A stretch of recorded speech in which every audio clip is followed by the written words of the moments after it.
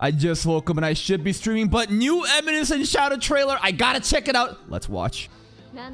I don't think there's English subtitles this time. It's fine, it's fine. Oh shit, Delta, what's going on there?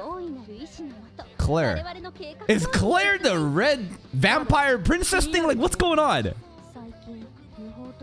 Oh, the blonde dude! Wait, the legend is back? Oh, from the tournament arc! This has to be some like I, I, don't. There's there's this red crimson dude, and then there's the red crimson waifu girl, and then this is just one part of the arc, and this is the fox girl. She sounds like Izuna from No Game No Life. Mune means titties. Mune means titties.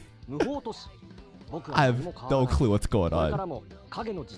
But I think this is focusing on just the first half of the arc, right? I'm not gonna lie, I don't understand anything that just happened. I did hear Mune, which means titties, but that should be the focus of the first half of season two, which is gonna cover zombie arc and apparently John Smith. Who the fuck is John Smith? But you know that if you hear a name like John Smith, shit's gonna pop up. But hey, if you're still here, if you did enjoy this reaction, please go check out the Eminence in Shadow playlist. And until next time, take care.